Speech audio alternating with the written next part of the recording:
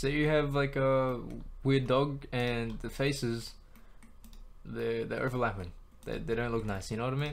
Um, come up to your mirror settings and then press the button next to it. This is going to merge vertices and faces, but we have to go into options first and then uh, click split edges and faces.